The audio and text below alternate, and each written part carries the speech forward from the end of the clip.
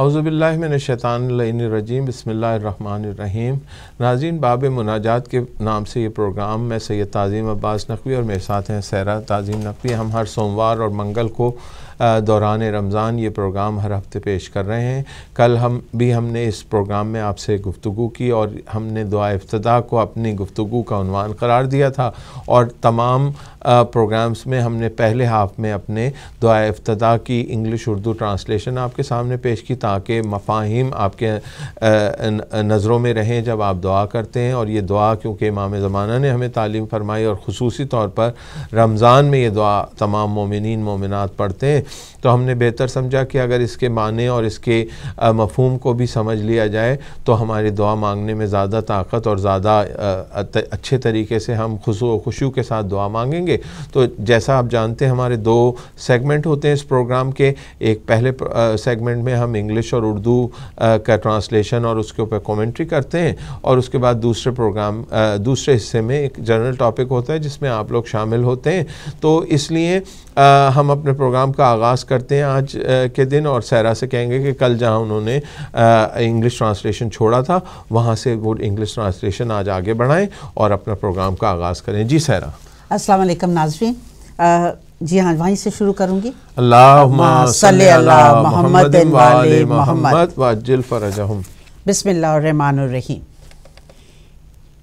He tames the powerful by his force and disgraced are great ones before his greatness.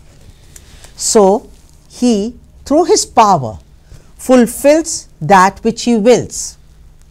All praise be to Allah, who gives answers to me whenever I call him, and he covers up my shortcomings, yet I disobey him. And he gives me the largest part of the bounties, yet I do not show his gratitude. Many auspicious favors had he given me, and many a terrible dangers had he turned off, and many a blossoming joys had he made available for me. Therefore, I sing his praises and recite his glorifications and mention him with exultation. All praise be to Allah, whose screen cannot be penetrated and whose door is not blocked and whose beseecher is not rejected and one who hopes him is not disappointed. All praise be to Allah, who secures the frightened ones, who comes to help of the upright ones, who promotes the cause of the weak ones, inhalitates the autocrats, who destroy, rules, and appoints other instead. All praise be to Allah, the execrator of the tyrants, the terminator of the unjust ones, the catcher of the fugitives, the punisher of the unjust ones, the aid of the seekers of aid, the settler of the needs of the beseechers, and the support of the faithful believers. All praise be to Allah. In his awe-inspiring fear, the heavens and his dwellers tremble and shiver, and the earth in its habitants shake and quiver, and the oceans and all that which float and swim in the water's flow, together an excitement and tumult. All praise be to Allah, who has guided us to this. We could not truly have been left led aright if Allah had not guided us. Excuse me. All praise be to Allah, who creates, but He is not created, and He gives substances, but He needs no provisions, and gives food to eat, but He takes no nourishment, and He makes the living dead, and He brings the dead to life, but He is the ever living. There is no death for Him. In His hands is His all the good, and He is able to do all the things. O Allah, send blessings on Muhammad, your servant and messenger, and your confident friend and beloved intimate, and the choicest of your greated, greated beings, and the bearer of your sacraments, and the coatent of your messengers. Allahumma salli Allah محمد وآل محمد وعجل فرجہم ناظرین یہ English ترجمہ تھا ہم نے پہلے پروردگار عالم کی بڑائی بیان کر چکے ہیں ہم دعائے افتتاح میں اب ہم محمد وآل محمد کے اوصاف اور ان کی توصیف بیان کر رہے ہیں اور ہم جیسا کہ سہرہ پہنچی ہیں ابھی جناب رسول خدا پیغمبر اسلام تک انشاءاللہ اور اس کی خاص دعا افتتاح کی خاص جو خصوصیت ہے وہ یہ ہے کہ اس کے اندر ہمارے جو بارہ امام ہیں، ان کا بالکل اسی انداز سے ذکر کیا گیا ہے جیسا آپ شبہ قدر میں دعا مانگتے ہیں، اپنے عمال میں جس طریقے سے دعا مانگتے ہیں۔ تو یہ خصوصی طور پر اسی لیے اس انداز سے امام زمانہ نے ہمیں یہ دعا تعلیم کی ہے کہ اس دعا کے اندر ہم چودہ معصومین اور تمام ہمارے جو آئمہ ہیں، ان کی توصیف کے ساتھ ساتھ ان کا واسطہ بھی پروردگار عالم کو دیتے ہیں اور انہی کے واسطے سے یا انہی کے وسیلے سے ہم پروردگار عالم سے دست با دعا ہوتے ہیں کہ پروردگار ہماری حاجتیں پوری کر اور پھر جیسا کہ میں نے کل آپ کی خدمت میں عرض کیا تھا کہ ہم جب محبوب کے ساتھ ہوتے ہیں، راز و نیاز کرتے ہیں، مناجات کرتے ہیں، تو پھر ہم اپنے دل کے شکوے بھی اس کے سامنے کرتے ہیں۔ اور اس دعا میں ہم نے پروردگار سے شکوہ بھی کیا ہے کہ پروردگار ہمارے جو ہمارا جو امام ہے، ہمارے جو ہمارے جو ہدایت کا راستہ ہے، وہ ہمارے امام پوشیدہ ہیں۔ ہم ہمیں نظر نہیں آتے۔ ہم قلیل ہیں اور دشمن تعداد میں زیادہ ہیں۔ ہمارا پر آشوب زمانہ ہے اور ہمارے پہ ہر قسم کی پریشانی ہے۔ تو پروردگار عالم اس پریشانی میں ہماری مدد فرما اور امام زمانہ کے ظہور میں تعجیل فرما اور ان کی ایک ایسی حکومت قائم کر جو تمام مظالم کو جو ہے، تمام ظالموں کو پر کیفر کردار تک پہنچائے۔ نہ صرف یہ بلکہ مظلوم جتنے بھی ہیں ان کو ان کا حق ملے اور یہی حق ہے ہادی برحق کا، کہ جب ہادی برحق اس دنیا میں ہوتا ہے اور آتا ہے تو سب سے بڑا کام جو ہوتا ہے وہ یہی کرتا ہے کہ مظلوم کو اس کا حق دلاتا ہے۔ یہی ہمیں، یہی تعلیم ہمارے پیغمبر اسلام نے ہمیں دی کہ اپنے سے غریب غربا کے کی مدد کی جائے، اپنے سے کم تر کی مدد کی جائے اور ان کو جو غریب تھے، ان کو پر، ان کو رسول اللہ نے اسلام کے ذریعے ان کو رسول اللہ نے اسلام اپنی تبلیغ کے ذریعے باعزت بنا دیا۔ تو ناظرین یہ دعا افتتاح کا بڑا ایک خاص طریقہ کار ہمیں امام زمانہ نے تعلیم فرمایا ہے۔ اور اس دعا کے پڑھنے کے بعد سمجھ کے اگر پڑھیں گے آپ تو آپ اپنے اور پروردگار عالم کے درمیان ایک قسم کا رابطہ ایک قسم کا کنیکشن پائیں گے انشاءاللہ۔ اور آپ کو احساس ہوگا کہ آہستہ آہستہ دیکھیں عام طور پہ کہتے تو سب ہیں کہ اللہ ہمیں دیکھ رہا ہوتا ہے اور اللہ ہمارے ساتھ ہوتا ہے لیکن حقیقتاً اس کو محسوس کرنا بھی ضروری ہوتا ہے کہ جب تک آپ محسوس نہیں کریں گے کہ پروردگار عالم آپ کے ساتھ ہے تو آپ کو یہ اندازہ نہیں ہوگا اور یہ کیسے محسوس کریں گے جب آپ کا تعلق آپ کا کنیکشن اس سے کلوز تر ہو جائے گا۔ جب قریب تر کنیکشن ہوگا آپ کا تو ہی آپ کو یہ دعاؤں کے ذریعے اور ان مناجات کے ذریعے ہمارے آئمہ نے ہمیں تعلیم فرمایا ہے۔ کیا کہتی ہیں آپ اس بارے میں؟ اور یہ کتنی خوبصورت لائن ہے۔ Who gives gives answers to me whenever I call مطلب یعنی میری جب بھی میں میری صدا پہ لبیک کہتا ہے بالکل۔ اور مانگیں گے تو انشاءاللہ ضرور ملے گا۔ یقین لیکن دل سے مانگے۔ بالکل صحیح بات ہے دل سے مانگا جائے اور اس کو کبھی کئی دفعہ ایسا ہوتا ہے کہ جب ہم بہت زیادہ مشکل میں ہوتے ہیں یا کوئی ایسا کام ہمارا پھنسا ہوتا ہے جس سے ہمیں بہت پرابلمس ہو رہی ہے مینٹلی اور فزیکلی بہت زیادہ لو ہو جاتے ہیں اور اس وقت ہم اللہ کو یاد کرتے ہیں اور اس وقت اگر ہم رو کے اور گڑ گڑا کے مانگا جائے تو انشاءاللہ اللہ سنے گا۔ اور یہاں پہ انہوں نے یہ بھی یہ لائن بہت پیاری ہے and many a terrible dangerous head he turned off کئی دفعہ ہم بہت زیادہ مشکل میں ہوتے ہیں اور وہ جب ہم دعا مانگتے ہیں تو مشکلیں ٹل جاتی ہیں۔ تو وہ وہ بھی بہت خوبصورت ہے کہ ہم اگر اس وقت جب ہم رمضان کے we are coming to and to it already آج سیونٹینتھ روزہ ہے، تو ہم اس وقت جو بھی ہمارے مسئلے مسائل ہے جو پرابلم سے ہم گزر رہے ہیں یا جو ہمارے کام پھنسے ہوئے ہیں 18th ہم آج۔ ایٹیتھ روز آئی ایم سوری جو بھی ہم پرابلم سے گزر رہے ہیں تو اگر ہم دل سے مانگا جائے تو یقیناً اللہ ہماری دعا قبول کرے گا۔ اور اگر ہماری دعا اس وقت قبول نہیں ہوتی تو آئی ایم شیور وہ ہمارے لیے شاید بہتری ہے اس وقت۔ کہ اس وقت وہ قبول نہیں ہوئی مے بی لیٹر آن اس کے لیے ہمیں پھر بعد میں احساس ہوتا ہے کہ اگر اللہ نے ہماری یہ دعا قبول نہیں کی تو آئی ایم شیور اس کے پیچھے اللہ نے ہمارے لیے کوئی بہتر چیز رکھی ہوئی تھی کہ no if I would have granted this دعا اگر میری گرانٹ ہو جاتی تو بعد میں مجھے پتہ چلتا کہ ہاں یہ میرے لیے بہتر نہیں تھا۔ اللہ بہتر جانتا ہے کہ وہ ہمارے لیے کیا بہتر ہے۔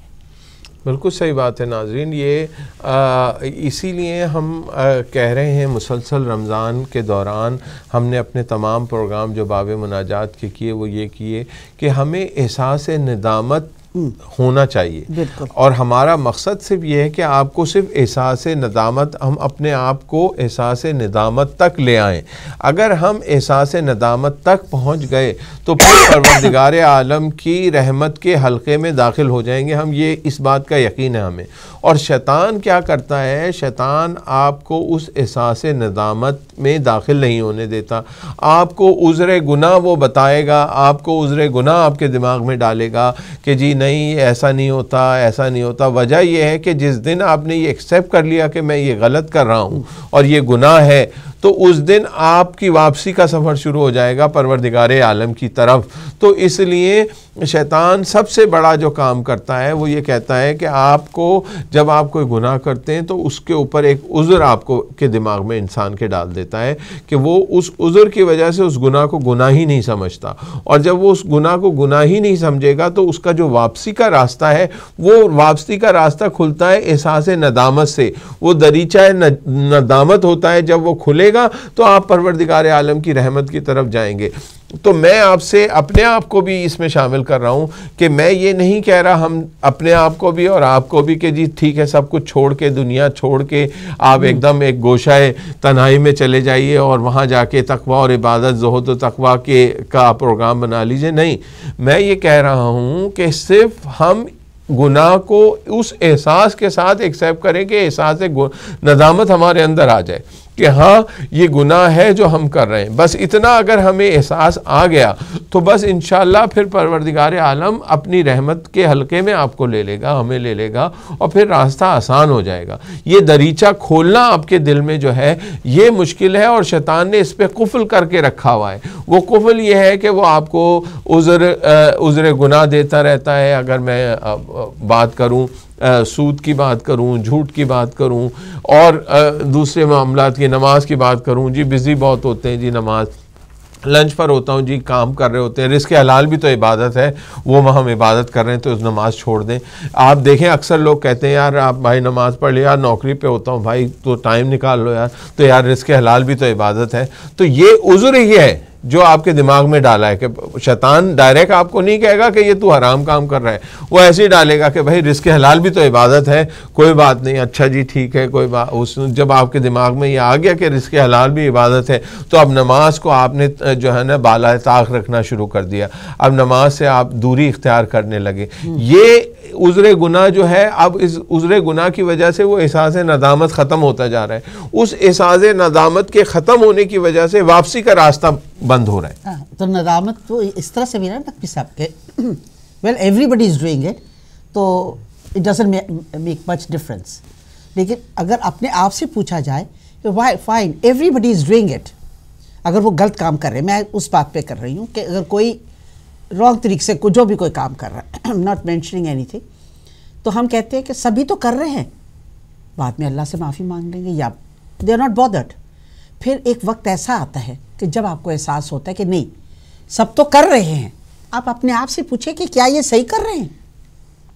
آپ کیا سمجھتے کہ پھر آپ صحیح کر رہے ہیں؟ نہیں، آپ نے اپنے آپ سے تو نہیں پوچھا نا کہ میں سب تو کر رہے ہیں رانگ جو بھی کام کر رہے ہیں، یا چوری کر رہے ہیں، یا کوئی جھوٹ بول رہے ہیں، یا کوئی غلط بات کر رہے ہیں، تو میں بھی کر لوں گا تو کیا فرق پڑ جائے گا؟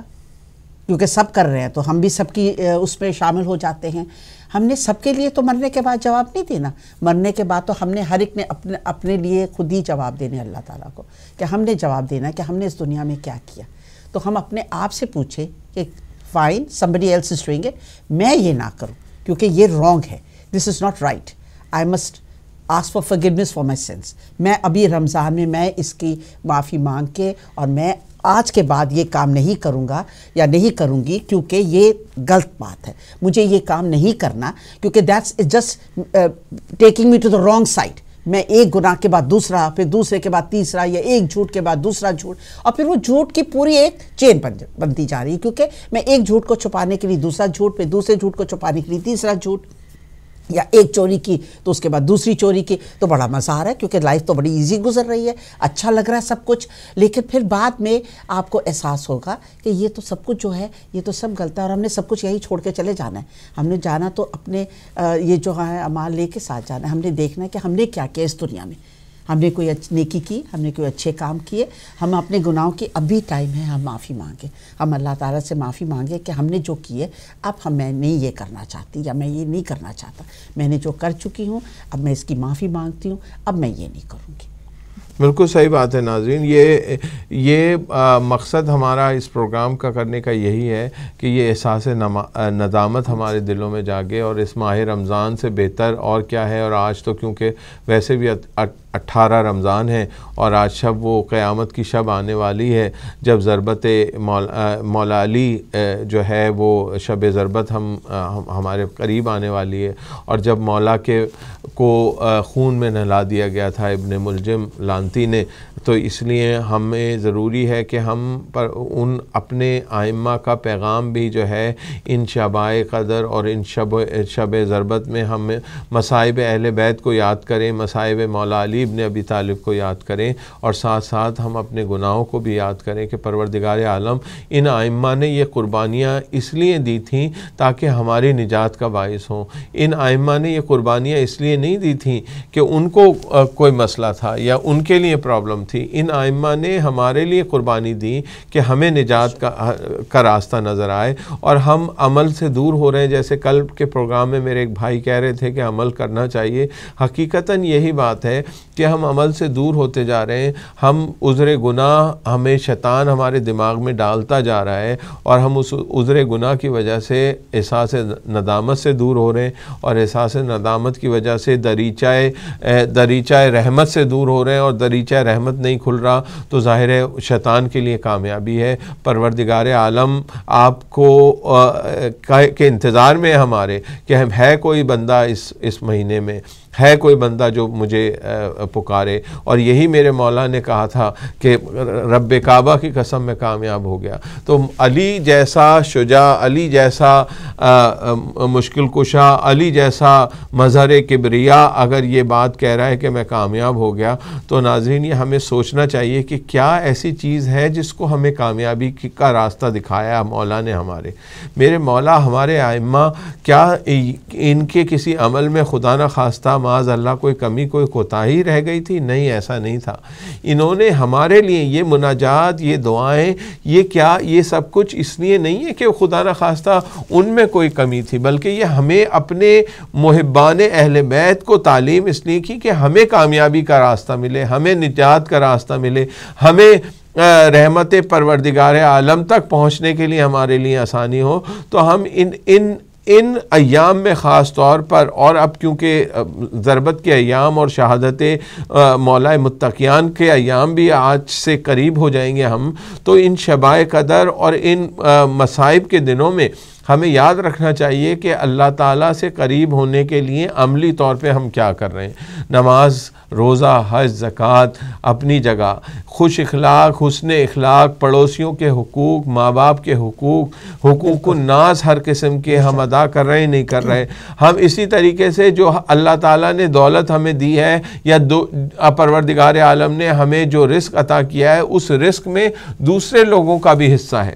اس رزق کے اندر دوسرے لوگوں کو بھی آپ شامل کریں۔ اور اسی لیے ہم جو ہے جب رمضان پاتے ہیں تو دیکھیے کہ اسلام میں آپ دیکھیے اکثر چیزوں کا ازالہ فائنینشل سپورٹ سے کیا گیا ہے۔ آپ دیکھیں جتنے کفار کفارے ادا ہو رہے ہیں۔ اگر آپ نے کوئی کام کیا، اس کا کفارہ، اس کا فیدیہ دیں تو فائنینشل سپورٹ ہے، زکوٰۃ فائنینشل سپورٹ ہے۔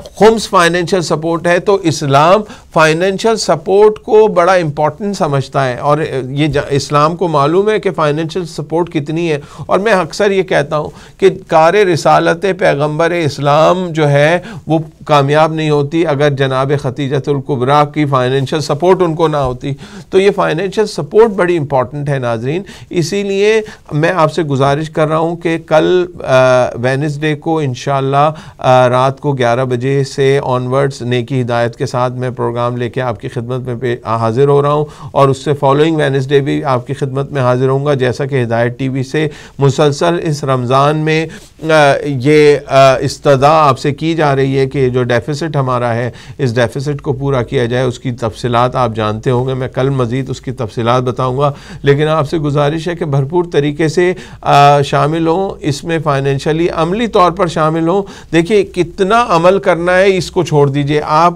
صد کے دل سے اگر پروردگار عالم کہتا ہے کہ اگر ایک رکت بھی ہم صد کے دل سے پڑھ لیں، اس خوشی اور خصو کے ساتھ پڑھ لیں، تو پروردگار عالم کے، کی نظر میں وہ شرف قبولیت حاصل کر لے گی نماز۔ اسی طریقے سے صدقہ، انفاق فی سبیل اللہ، ہر طریقے سے ہمیں کوشش کرنی چاہیے کہ اس مہینے کی جو بھی فیوز و برکات ہیں، ان سے مکمل استفادہ کریں اور خاص طور پر ہم، کیونکہ اس، آج اٹھارہ رمضان، اب ہمارا انشاءاللہ گزرنے والا ہے تھوڑی دیر کے بعد انیسواں رمضان آ جائے گا، جس کو ہم عمال بھی کرتے ہیں، شب قدر بھی کرتے ہیں، اور ضربت مولا علیب نے بھی طالب بھی ہے، تو اس لیے مولا کے مصائب بھی شروع ہونے والے ہیں تھوڑی دیر کے بعد، تو ہم مولا کے مصائب کو بھی یاد رکھیں، امام حسن حسین یتیم ہونے والے ہیں، جناب زینب کبرا جناب سکرا یتیم ہونے والی ہیں۔ ان کے یتیم ہونے کا سلسلہ شروع ہونے والا ہے، ناظرین۔ ہمیں اس بات کو بھی ذہن میں رکھنا چاہیے کہ یہ مہینہ جا ایسا مہینہ ہے کہ جب جناب حسن جیسا مزداق الکوثر کا مزداق اس رمضان کے تحفہ دیا، اس رمضان نے۔ اسی رمضان نے ہمیں ہمارا مولا ہمارا مولا مولا متقیان ہم، اس رمضان نے ہم، ہمیں، ہم سے لے لیا۔ تو اس لیے ضروری ہے کہ ہم ان ایام کو بھی بھرپور طریقے سے منائیں۔ یقیناً مجالس ہو رہی ہوں گی، انعقاد ہو رہا ہوگا۔ آپ ضرور شامل ہوئیے، دعا افتتاح کیجیے نماز، روزے، حج، زکوٰۃ، جو بھی انفاق فی سبیل اللہ کر سکتے ہیں، وہ کریں۔ اب رمضان بہت تیزی سے جو ہے، وہ اپنی آخری منازل کی طرف رواں دواں ہیں۔ تو میں گزارش کروں گا کہ کوئی دقیقہ بھی جو ہے، اس کو ضائع نہ کیا جائے رمضان کا۔ اور میں اپنے سمیت آپ سب کے لیے میں دعاگوں پروردگار عالم سے، جو باقی ماندہ رمضان ہے بے حق کے محمد وال محمد، ہمیں صدق دل اور مکمل خوشی و خصو کے ساتھ پروردگار اپنی طرف بلا، ہمیں اپنی طرف آنے کی توفیق عطا فرما۔ یا اللہ، ہم تیری طرف آنا چاہتے ہیں، میرے مالک، ہمارے گناہوں کو اپنے سے دوری کا سبب نہ بننے دینا۔ بے حق کے محمد وال محمد، ہمیں اپنے سے دور نہ کرنا، اپنا لطف و کرم ہم پہ جاری و ساری رکھنا پروردگار۔ یہی تجھ سے دعا ہے اور یہی دعا ہم کرتے رہیں گے جب تک رمضان ہے۔ اور انشاءاللہ اگلے ہفتے ہمارے باب مناجات کے آخری دو پروگرام ہوں گے رمضان کے سلسلے میں۔ اور پھر بشرط زندگی اگلے سال اگر پروردگار عالم نے موقع دیا اور ہدایت ٹی وی کی انتظامیہ نے ہمیں یہ موقع فراہم کیا تو امید کرتے ہیں کہ یہ پروگرام آپ کی خدمت میں دوبارہ پیش کریں گے۔ اب ایک وقت ہونے والا ہے ہمارے بریک کا۔ یہ بریک کے بعد انشاءاللہ ہم اپنی اس گفتگو کو جاری رکھیں گے اور آپ سے اٹھارہ رمضان کے سلسلے میں بھی بات چیت کریں گے اور کل کے سلسلے میں میں آپ کی خدمت میں گزارش کروں گا کہ کل جو پروگرام کر رہے ہیں اور جو نیکی کی ہدایت اور مختلف دنوں میں مختلف اینکر کر رہے ہیں۔ میں تو معمولی سی سا طالب علم ہوں، بڑے بڑے senior anchor Hidayat television پر آپ سے اپیل کر رہے ہیں۔ تو یقیناً آپ لبیک کہہ رہے ہوں گے۔ اس خاکسار کی بات کو بھی اگر آپ سن لیں گے اور اس پہ لبیک کہیں گے تو میں بہت شکر گزار ہوں گا اور دعا گوں گا پروردگار عالم سے۔ امید یہ ہے اور مجھے یقین بھی ہے اپنے رب سے، اپنے پروردگار سے، بحق محمد وال محمد میرے جتنے دیکھنے والے ہیں۔ وہ اس میری بات پہ لبیک کہیں گے اور کل کے پروگرام میں اور فالوئنگ وینسڈے آپ بھرپور طریقے سے اس پروگرام میں شامل ہوں گے اور ہدایت ٹی وی کی مالی امداد جاری رکھیں گے اور ساتھ ساتھ یہ جو ہدایت کا کام ہے، جو نیکو نیکی کا کام ہے، جو ہدایت کی نیکی ہے، وہ بھی جاری رہے گی اور اس میں آپ کا حصہ آپ کو ملتا رہے گا۔ ناظرین، یہ بڑا امپورٹنٹ ہے کہ مولا کا قول ہے کہ یہ دیکھیں کہ کون کہہ رہا ہے، یہ نہ دیکھیں کہ کیا کہہ رہا ہے۔ تو آپ مجھ خاکسار کو نہ دیکھیں، مجھ گناہ گار کو نہ دیکھیں، امام زمانہ کا واسطہ دیکھ کر میں آپ سے عرض کر رہا ہوں۔ یہ واسطہ دیکھیں اور اس بات کو ذہن میں رکھیں کہ یہ مشن امام زمانہ ہے۔ انشاءاللہ بریک کے بعد آپ سے پھر ملاقات ہوگی۔ دیکھتے رہیے ہدایت ٹی وی۔ السلام علیکم ورحمۃ اللہ وبرکاتہ۔